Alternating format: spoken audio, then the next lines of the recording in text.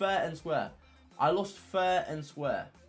Like, fair and square to Razek in the Cup 2. Cup 3, I'm the first ever player to get knocked out of a tournament, right, in Champs Cups, without losing a leg.